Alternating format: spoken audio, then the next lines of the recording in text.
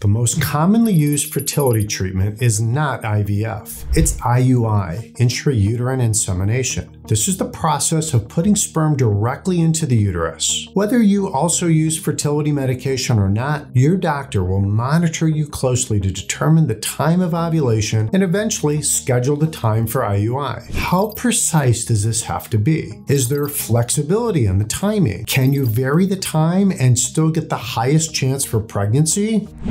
Stay tuned.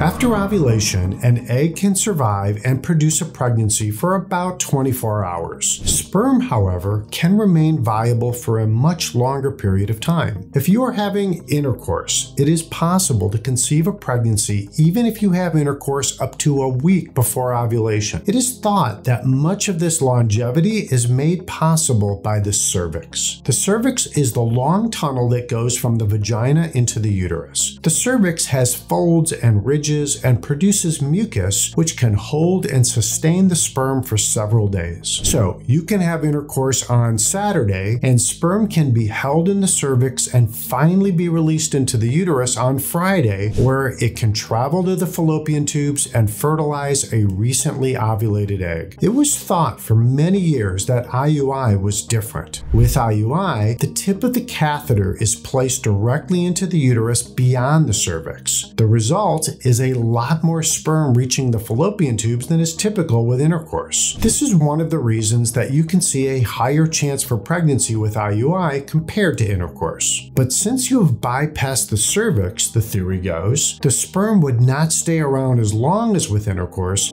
so timing the IUI to occur at the time of ovulation was thought to be very important. But is this theory true? Some really good science says it's not. There are two methods by which fertility doctors determine the time of ovulation. One method involves doing blood testing to detect the LH surge. This is the large increase in a hormone from the pituitary gland, which the body uses to trigger ovulation. It can be detected with a blood test or a urine test The other method uses an injection of a medication called HCG to mimic the LH surge. Both methods have been determined to be equally effective in producing pregnancy. Studies have shown that after receiving an HCG injection, ovulation usually occurs about 36 hours later. Based on this knowledge, most fertility doctors would schedule the IUI for 36 hours after the HCG injection.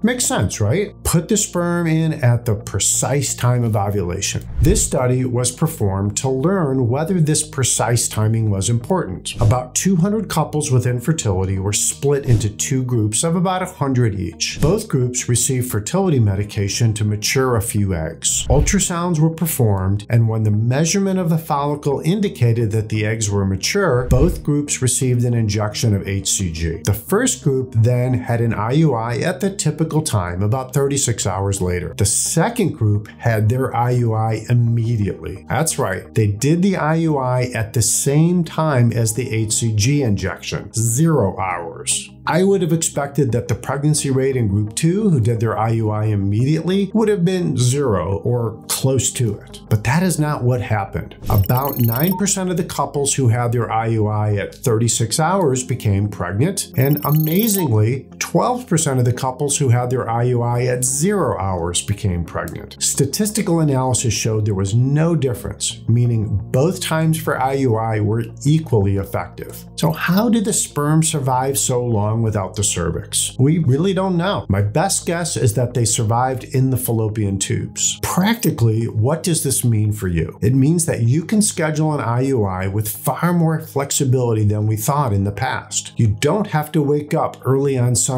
morning or have an IUI scheduled on a holiday or when you have that really important meeting at work. Most importantly, you don't have to worry that you are compromising your chance for pregnancy. Infertility TV is your most trusted source for accurate information on infertility and miscarriage. If you are not a subscriber yet, hit the subscribe button right now. A new episode is released every week. Don't miss any episodes. You can also check us out on our website, ivf1.com, where you can become a patient.